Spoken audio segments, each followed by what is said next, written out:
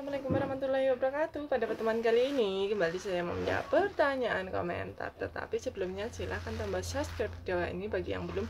Dan jangan lupa nyalakan lonceng notifikasi agar tidak ketinggalan video-video dari saya. Terima kasih. Oke langsung saja saya bacakan pertanyaannya. Pertanyaannya begini.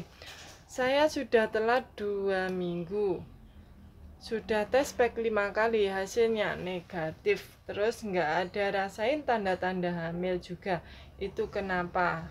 Oke langsung saja saya jawab. Pertanyaannya ya jadi ini uh, sudah telat hai dua minggu tetapi tes packnya negatif. Jadi punya penasaran apakah uh, ini karena apa? Seperti itu ya. Jadi uh, juga nggak ada rasain tanda-tanda hamil seperti itu ya. Jadi kalau misalkan telat seperti ini dan di pack ternyata negatif itu bisa karena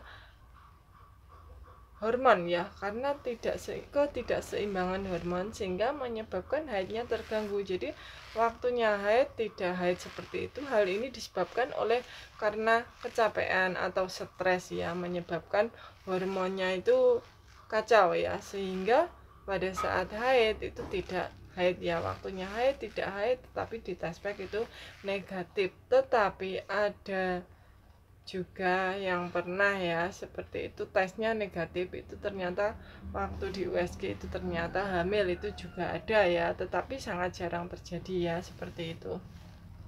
Jadi kalau ibu kemungkinan bisa karena ketidakseimbangan hormon tetapi kalau ingin mencoba diperiksakan untuk USG itu lebih bagus lagi jadi kalau ada sebab misalkan ada benjolan tumor dan sebagainya itu bisa tahu ada kehamilan juga bisa tahu Oke, sekian dulu jawaban dari saya. Semoga bermanfaat. Wassalamualaikum warahmatullahi wabarakatuh. Bye bye.